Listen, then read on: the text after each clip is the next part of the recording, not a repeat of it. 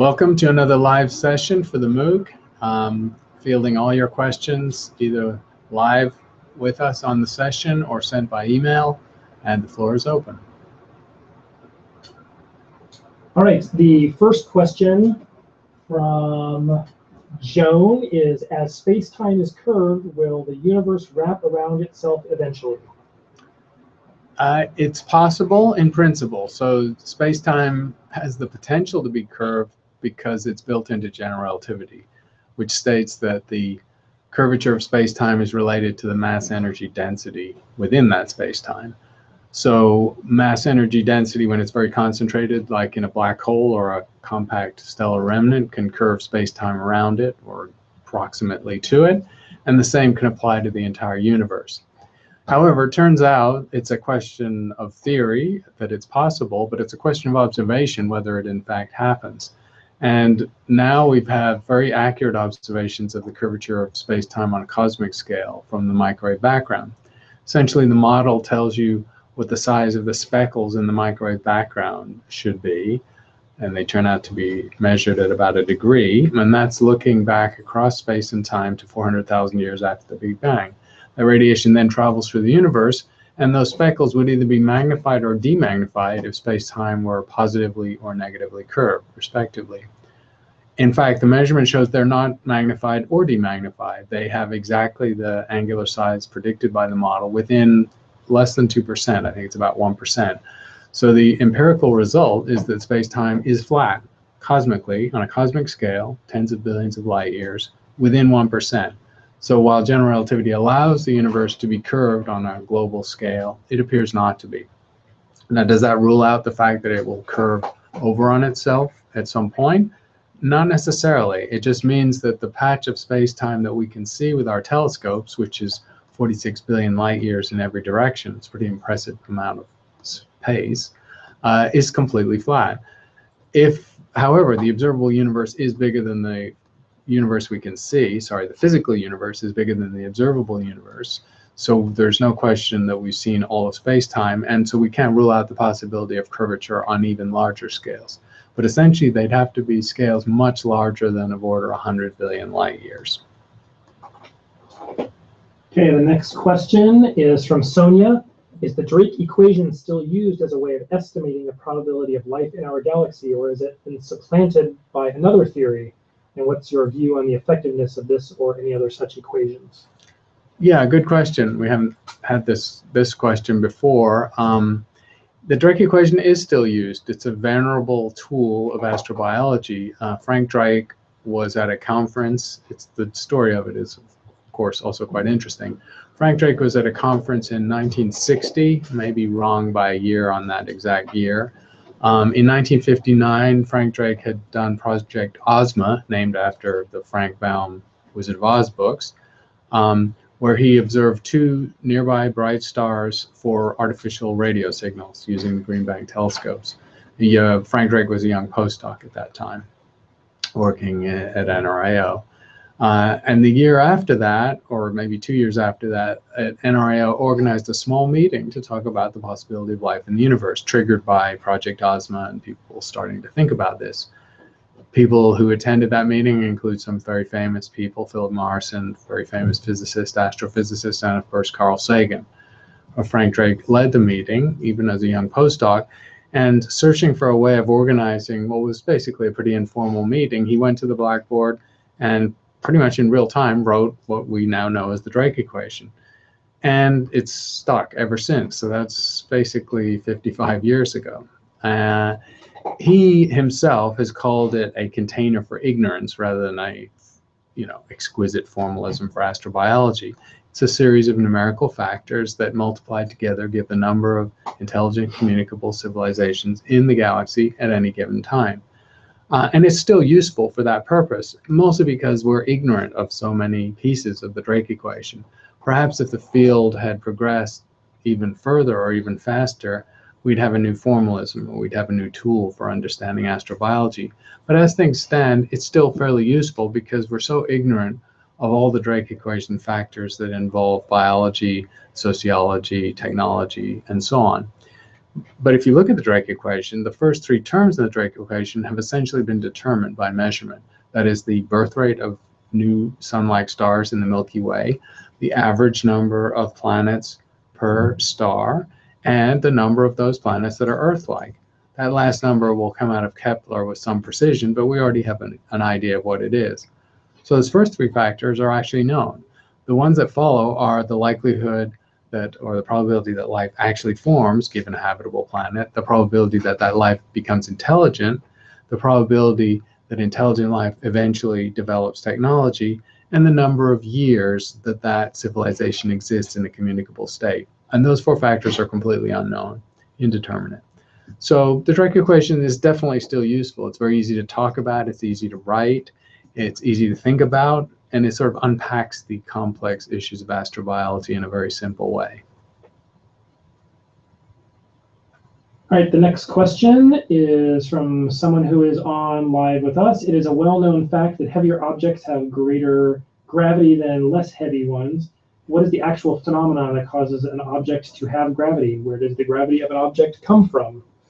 It's a good question. And uh, someone very great, such as Isaac Newton, was asked about the nature of gravity, this law that he described with a, a law, universal law that still applies in most of astronomy. And he said, I frame no hypothesis. In other words, he said he didn't know where gravity came from.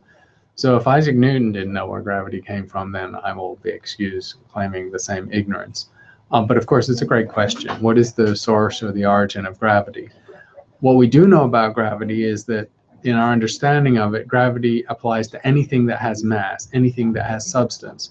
And so, yes, subatomic particles, tiny subatomic particles have gravity, protons, neutrons, quarks, electrons, as do black holes, as do galaxies, as does the universe as a whole. So gravity applies to everything that has substance, everything that's made of matter, even the tiny components of big objects. So that much we do know. The nature of gravity is still unclear in theoretical physics, gravity is conceptualized the same way the other fundamental forces are in terms of an interaction particle called the graviton, just as the photon is the interaction particle for the electromagnetic force.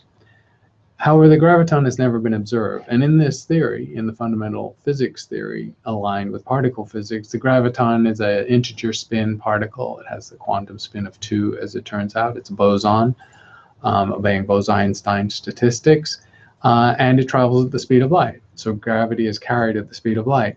That fact also has not been verified. So physicists have been trying for quite a while to measure the speed at which gravity propagates. And you can understand that's a hard thing to do because you'd have to suddenly conjure up some mass or material out of nothing and then watch how fast the signal of the gravity of that mass propagates through space. It's an extremely difficult experiment, and no one has yet succeeded, even indirectly, in doing this.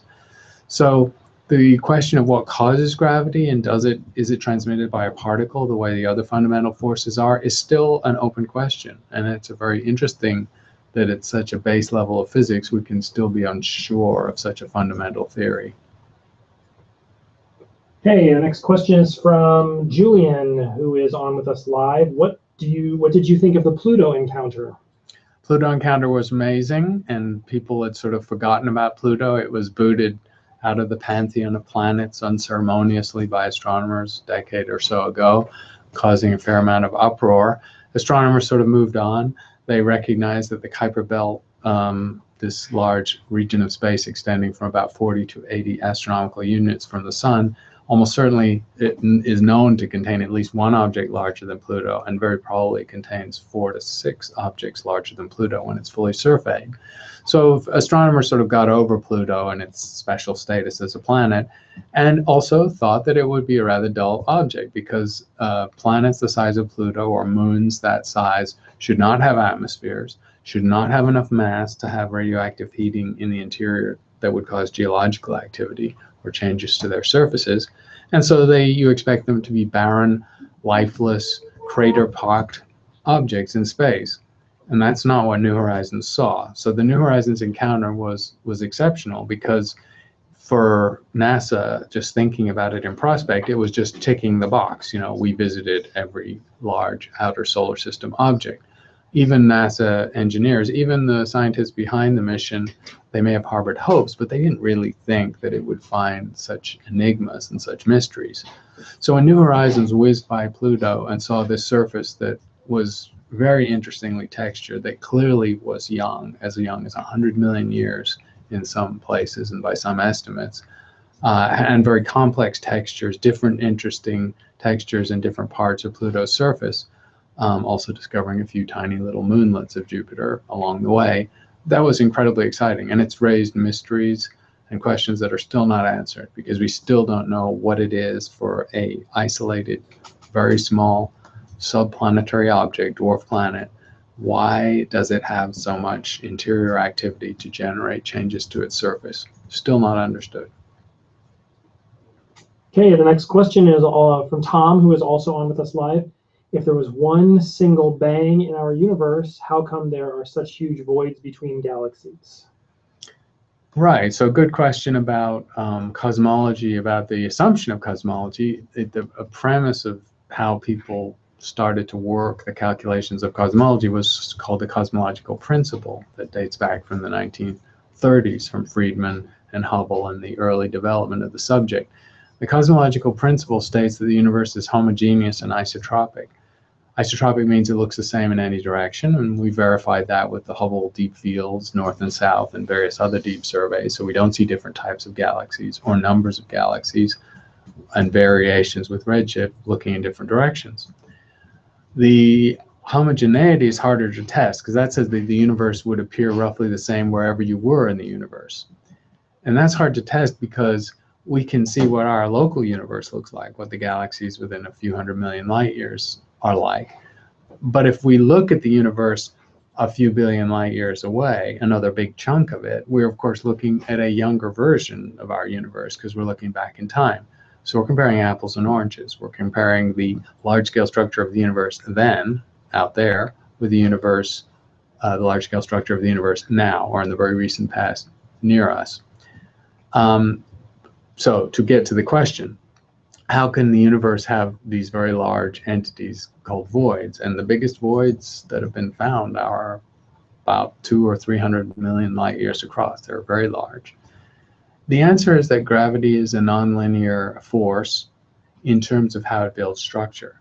So although the universe may have started smooth and, and completely homogeneous, which is to say smooth, the density not varying by more than a tiny amount from one space to another. In fact, at the epoch of the microwave background, the radiation is uniform to one part in 100,000. And the matter densities follow the radiation at that point, And so their variations are extremely small. So the universe was definitely super smooth very early on.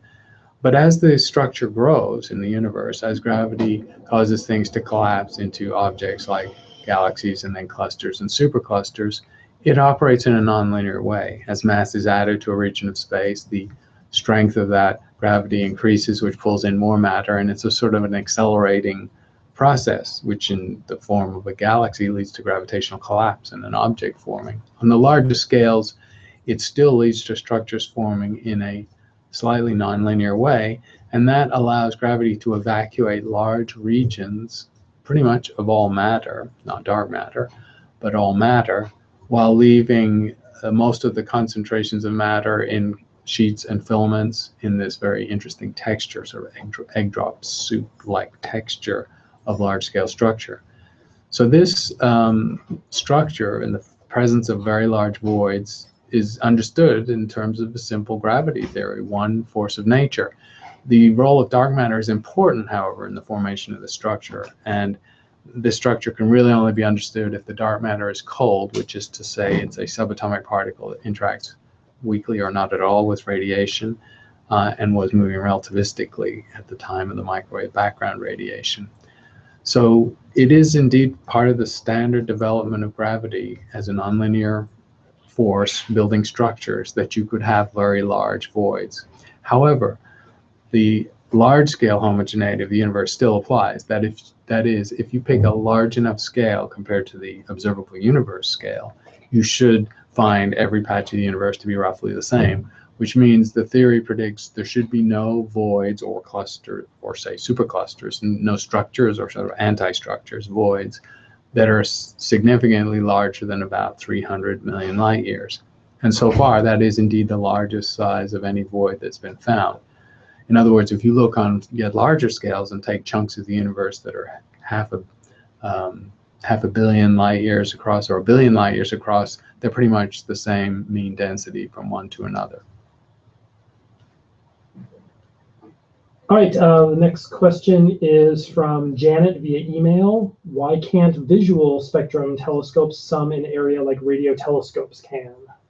Can they, I missed a word there. Sorry, why can't um, optical telescopes sum in area like Oh. radio telescopes do? Um, so the technique of interferometry, which allows disparate or separated telescopes to combine their information, it of course allows them to sum their information in terms of radiation gathering power, but more usefully it applies to resolution, angular resolution, because it simulates a telescope that has the angular resolution of a size equal to the spacing between the telescopes. So as as the question uh, implies, this technique is mature in radio astronomy and has been used since the 1950s. The Very Large Array, array is the most famous telescope in the United States that operates this way, but there are some telescopes like this in the UK, Europe, Australia, and so on. For optical radiation, the same trick is possible. Interferometry is possible, and it's been known that it could be done in principle. But because optical waves of light are billions of times smaller than radio waves, the methods for combining them coherently, which is to say, combining radiation from separate telescopes where you preserve the information to within a wavelength of the radiation, is much harder. So the wavelength of the radiation used by the Very Large Array is a few centimeters. So a waveguide technology, which has been around for half a century, can easily combine radio waves over large distances and keep the coherence or track the wavelengths within a few centimeters. But with radi- with optical light, you're having to do it within nanometers. You're having to do it within uh, you know tiny, tiny fractions of a meter, and doing that coherently requires uh, evacuated tubes. It requires a pure vacuum because the travel time of light through air will vary with obviously the density and the temperature of the air, which is a problem. And it also requires essentially a Michelson interferometer. It requires you know very careful tracking of the wavelength of light. And that has been possible in the lab for a few decades, but on a telescope it's harder to arrange. However, it is possible. The Palomar Palomar has had a testbed interferometer operating on a one meter telescope in Mount Palomar for over a decade, 15 years, and then gathering routine data for 10 years.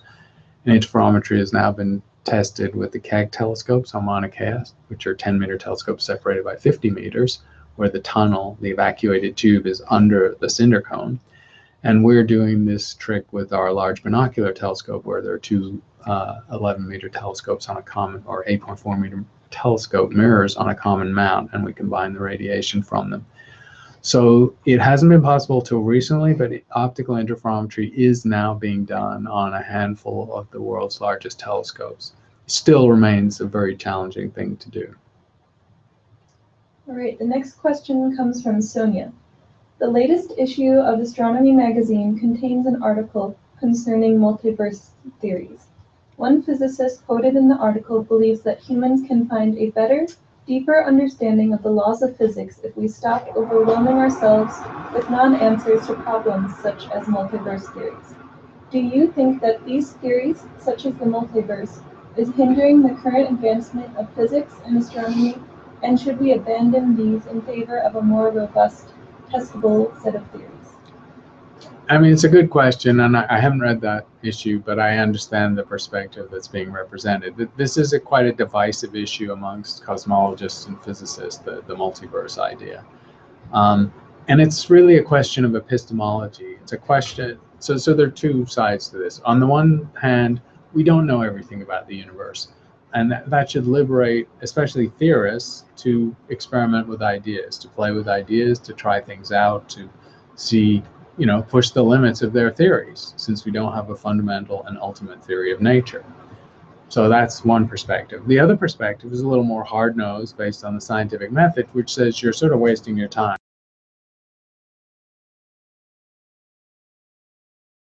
A wide range of theories which are not testable. because if you do that, that's metaphysics, it's philosophy, it's uh, it's not science, uh, and that's a legitimate perspective too.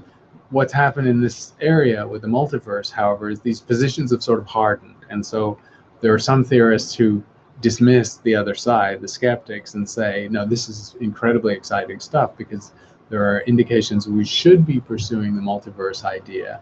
And to not do so is to miss incredible opportunities.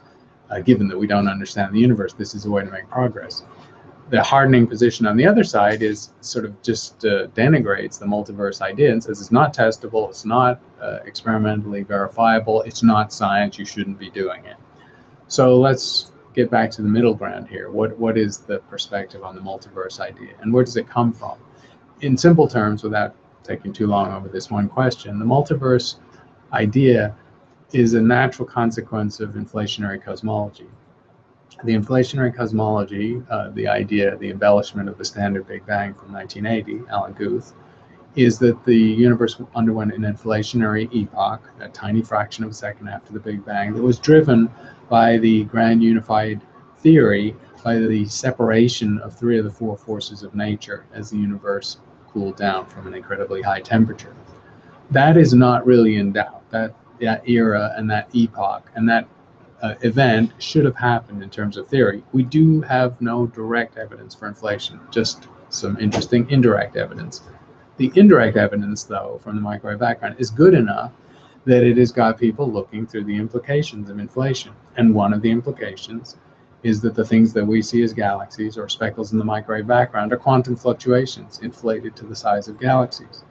And that's liberated, sort of following a chain of logic here, that's liberated theorists to imagine that our patch of space time, which is to say our observable universe, could have been a quantum event, quantum genesis. And if that was one quantum event, why weren't there perhaps other quantum events with different physical properties and different uh, eventual outcomes? Maybe universes that inflated, some that didn't inflate, universes with different laws of physics, distinct spacetimes, so quite separate from each other. And that's the multiverse idea. So the multiverse does stem naturally, if not completely inevitably, from inflationary cosmology. And I think that's legitimate enough for people to work on the idea. However, they should be held to the standard of developing a testable theory. And some of them would say they're getting there. There are some theorists working on multiverse ideas, quantum genesis, other possible spacetimes, who are looking at the possibility of detecting the existence of those other spacetimes by interactions either through gravitational waves very early in the history of those spacetimes or possibly by interactions through superior and extra dimensions in string theory. That latter option, of course, is even more speculative, so that other people criticize string theory on different grounds. So I'm pretty much in the middle on this one. I think uh, the people who were being hard-nosed and saying it's not science are actually overstating the case. It is science. It's a legitimate extension of the frontier of cosmology the people who are overly enthusiastic about multiverse and maybe oversell it uh, should take a cautionary note that if they are not able to produce uh, a prediction that could test the multiverse idea at some point, give them some time to develop the theory and then hold them accountable for making a prediction that observers like myself or people like me can test. And if they can, of course, it isn't science, it's metaphysics and can be criticized as such. All right, the next question is from somebody who is live. Um, Aaron asks, how can they apply fresh aluminum mirror, uh, let's start over. How can they apply fresh aluminum mirror layer coating in situ on very large telescope mirrors, and how can they maintain it to a certain thickness accuracy, and how do they keep it clean? Right, so it's a good question. It's, it's very basic to telescopes. Um, so telescopes, as you know, are out in the elements. I mean, you're not allowed to observe when it's actually raining, and most people don't observe when there are clouds. But you know, things can happen. Uh, when the dew point changes extremely quickly, sometimes astronomers get caught out, and they actually can form condensation on the mirror. Also, you're out there in the elements. most telescopes close down when the wind goes beyond a certain amount, and that, of course, is primarily because the telescope doesn't point very well, or mechanical resonances cause it to oscillate and means it can't point. It's sort of wobbling very slightly by an amount that messes up your data. But going along with the wind, of course, is blown dust. And so telescopes are in a regime where moisture and dust is just part of the equation. And that inevitably leads to the reflective surface, that front surface that's coated, as the question implies, by a very thin layer of aluminum, perhaps 20 to 40 nanometers of aluminum. It will degrade over time. And so virtually every major telescope has to have its mirrors resurfaced every few years. And how often sort of depends on how carefully the telescope is tended. Recognize there's a tension there because astronomers only want to use the telescope in marginal conditions as long as they can take data. The telescope operators and the directors of the observatory are trying to protect the telescopes, extend the life of the mirrors, so they will want to close down. So there had to be rules. It used to be that telescope mirrors were re-aluminized in an aluminizing tank, a vacuum tank, somewhere in the dome. And if so, if you go to the Palomar Observatory, the world's biggest telescope, except for the Russian six meter, which does it a similar way too, uh, for 40 years or 50 years, the 200 inch it sits there and there's a track on the floor like a railroad track and the mirror cell would drop uh, onto a, a, railroad car which would carry the mirror cell across the dome distance of 20 meters and then raise it into a vacuum luminizing tank and they did that every few years so that's the way it used to be done the modern idea is is different in part because the telescopes are more compact and more uh, tightly fitted within their domes. The Palomar dome is very big compared to the telescope that it contains. Modern telescopes are, are all quite tightly bounded by their domes, so there's not really room to do the aluminizing tank somewhere else. And the second thing is, of course, taking a mirror out of its cell is extremely hazardous. Every time you do it, you risk breaking it, moving it across the telescope floor into a tank and then back again. So, so engineers simply do not want to remove the mirror. And so they quickly sort of developed in the 1980s and 90s a method whereby within the mirror cell itself on the telescope, you had a vacuum situation. You had a potential for a sealed unit with the addition of a top, a top to it, of course. It's mostly pointing up at the sky. Um, and then you could seal that, evacuate it to about 10 to the minus 6 torr, uh, and then put a sputtering chamber on top. And the sputtering chamber is just a you know electrically induced mechanism whereby aluminum molecules, atoms of molecules, are evaporated uh, from a single element in a uniform way across onto the mirror. And that's the way it's done now. So basically, every same time frame, every couple of years, major telescopes go out of service for a while. They have the top uh, element clamped on top of the mirror cell, evacuated, they sputter a new surface onto the mirror, and then they remove that top part of the clamshell, if you like, and then keep observing. It's still a little hazardous. It makes engineers nervous every time that's done with a large telescope because you're moving a very large multi-ton piece of metal over the top of your mirror.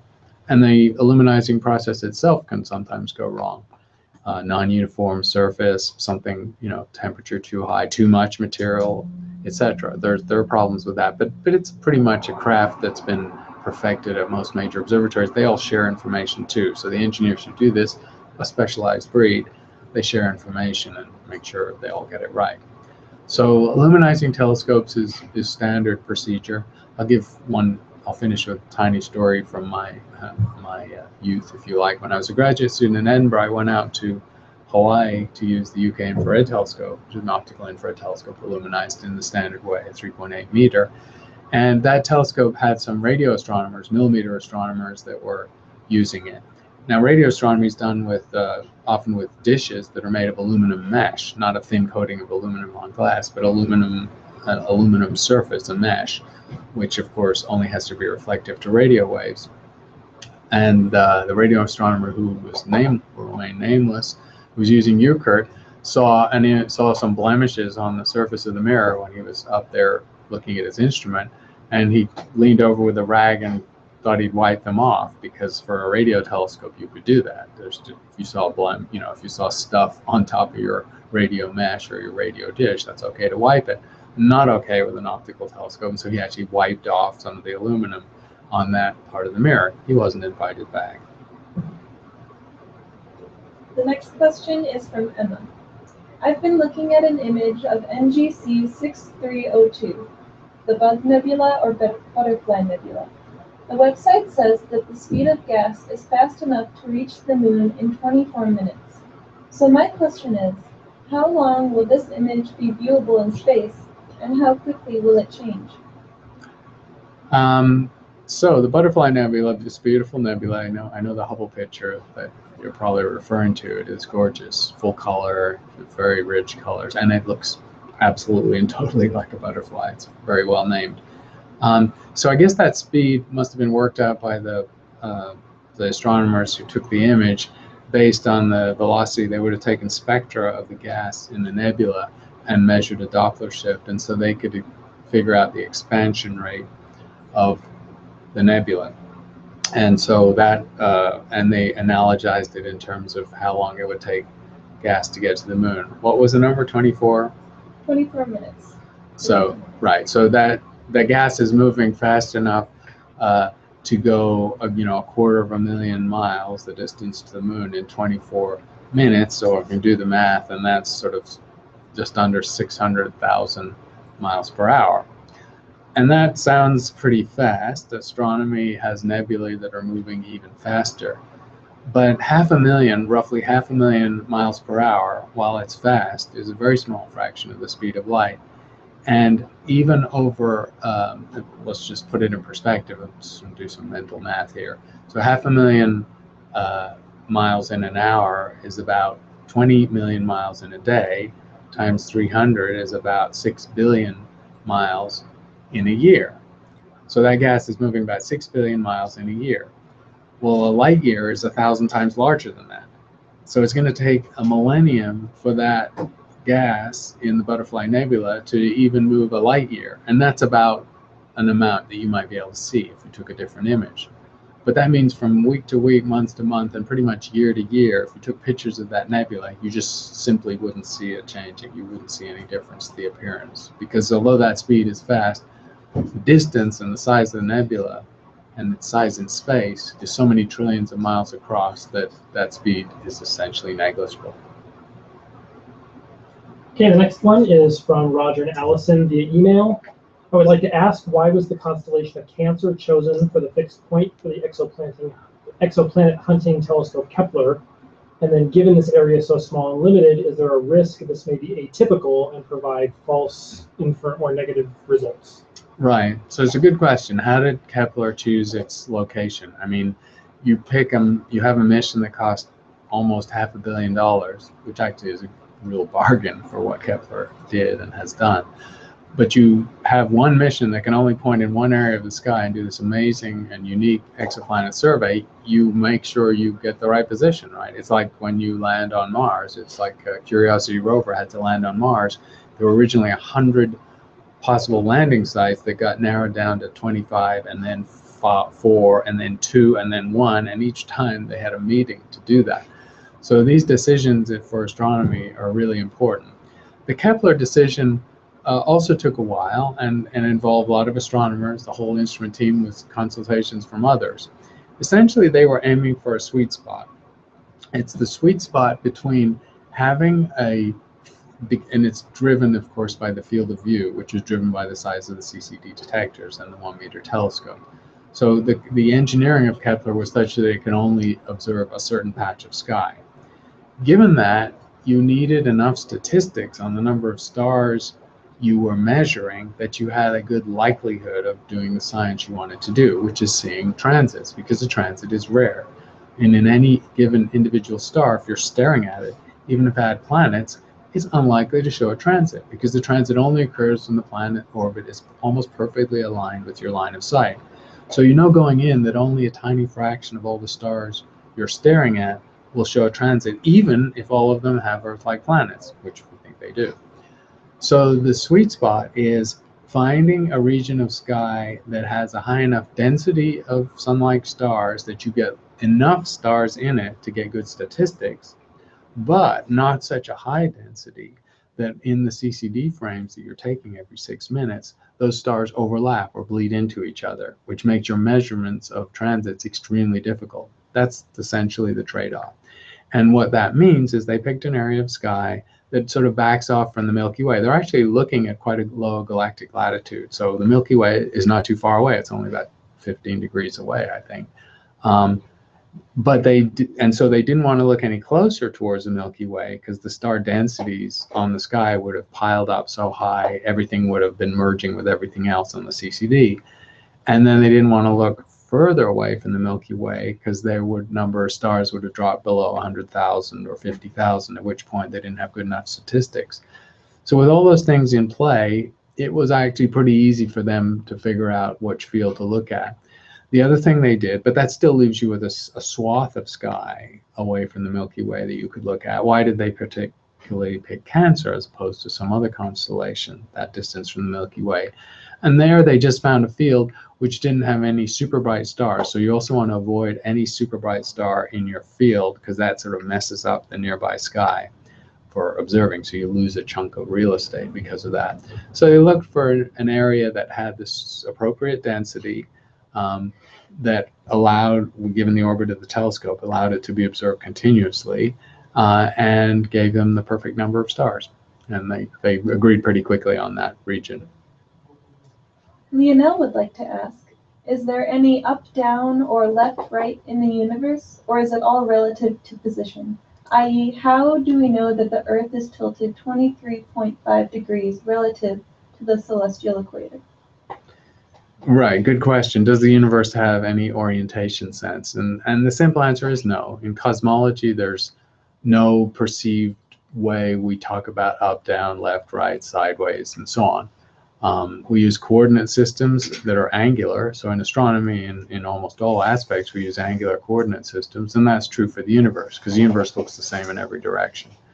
We don't believe the universe is going anywhere, so there's no real preferred orientation or sense of orientation. Once we get to smaller scales, though, we have to define reference frames. Uh, and in the solar system, we can define a reference frame that relates to the, obviously, the orbital plane of the planets around the sun. And by convention, uh, you know, it, it's just a convention. It's not, there's nothing absolute about it. There's no up or down in the solar system either, because obviously people standing opposite you on the surface of the Earth, held to the Earth by gravity, their, their up is opposite from your up.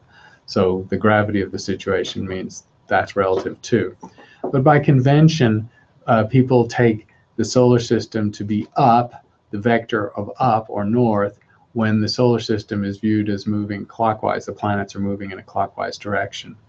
So it's relative to the plane of the orbits of the planets around the sun that the Earth's axis is tilted by 23 and a half degrees.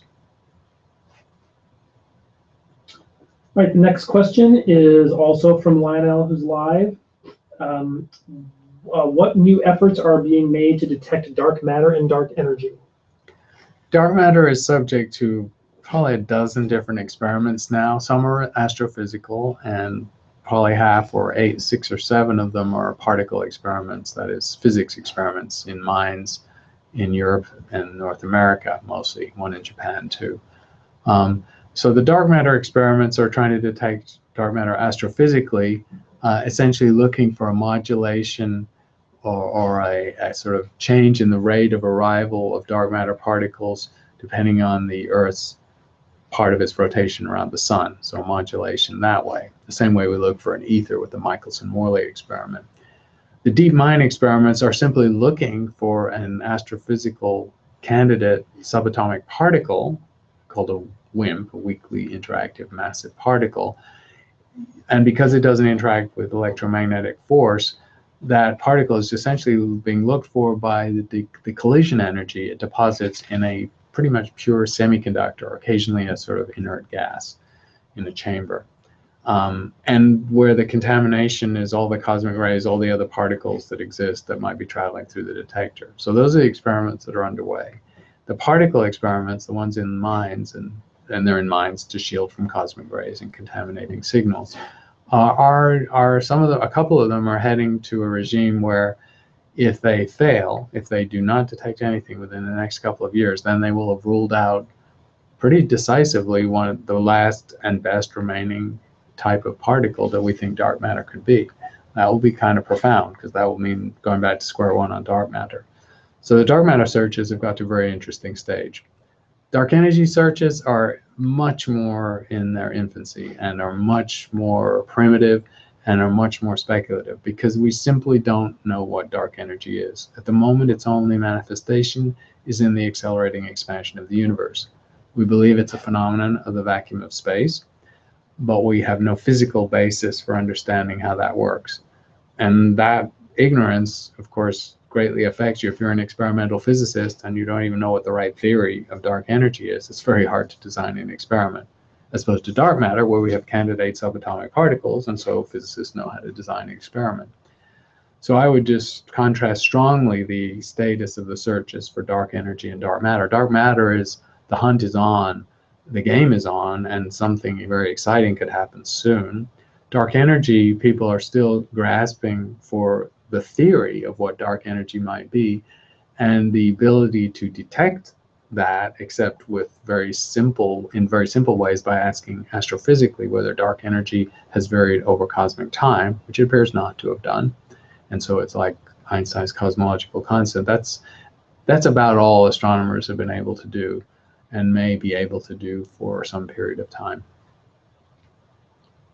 Okay, the next question is from Will, who is also on live. What's the difference between the Oort cloud and the Kuiper belt? So the the there may I'll, I'll make brief nods to each of these people. Uh, you know, if you get something big, a big chunk of the solar system named after you, you're obviously pretty famous. Kuiper is the strongest connection to where I work. Uh, Gerard Kuiper uh, was the founder of the Lunar Planetary Lab, sort of sister department to astronomy and Steward Observatory here in Arizona uh, a, a, titan in solar system uh, research from the, in the 50s and 60s. Kuiper also was the first person to recognize the potential of Mauna Kea as an observatory. Did the first site testing there by way back in the 50s and 60s again. So Kuiper is a really major figure in planetary science. And he, the department he founded, the Planetary Science Department, along with the Caltech department, there's one of the two best in the world still. Um, so Kuiper had named after him this region of space beyond the orbit of Neptune, where we believe there, in addition to things that are dwarf planets like Pluto, uh, are, are, many, many rocky objects that are the size of large moons or dwarf planets or, or Pluto-sized or even bigger. It's just debris left over from the formation of the solar system that never aggregated by accretion to form a substantial object like a giant planet that happened closer in. And so the nature of the Kuiper Belt was speculated for a long time during his life because it's very hard to observe small things that far from the Earth. Now, of course, we've got bigger telescopes that can track them and measure them. We've got New Horizons that's working its way into the Kuiper Belt now and doing a little survey along the path through which it'll leave the solar system. So we're learning a lot more about the uh, Kuiper Belt. The Kuiper Belt is aligned in the plane of the solar system the plane of the planets, uh, and so it's it's uh, it has a preferred orientation. It's an extension of the orbits of the planets. The Oort cloud is completely different. It's on a completely different scale. The Oort cloud is hypothesized to be on a scale of 50 to 100,000 astronomical units compared to 40 to 80. So it's hugely more dispersed than the Kuiper belt. The Oort cloud is also different in shape. The Oort cloud is hypothesized to be spherical or quasi-spherical whereas the Kuiper belt is occupying the plane of the orbit of the planets. The Oort cloud was also hypothesized before it was actually observed. In fact, it hasn't ever been directly observed, even now. Jan Oort was a Dutch astronomer, perhaps one of the most famous Dutch astronomers of the 20th century. He, I met him a couple times when I was a grad student and postdoc, and he was in his 80s. He did research, an amazing career. Um, the Dutch actually punched above their weight in astronomy. There have always been a large number of well-known astronomers over the last century from Holland, a very small country. Oort worked uh, on everything from comets to cosmology through his entire career, and he was publishing actively into his 90s. I forget exactly how old he was when he died, but I think in his mid 90s. So an extraordinary figure. He hypothesized, based on observations of comets, that pass through the inner solar system, that there should be a reservoir of comets at extremely large distances from the Earth that spend most of their time in the frigid regions of almost interstellar space, far from the Earth. Because by Kepler's law, of course, when a comet whizzes by the inner solar system, it must have a part of its orbit where it's moving much slower and is much further away. In other words, these are extremely elliptical plunging orbits where we just see them occasionally in the inner solar system for a short period of time, but they come from much further out.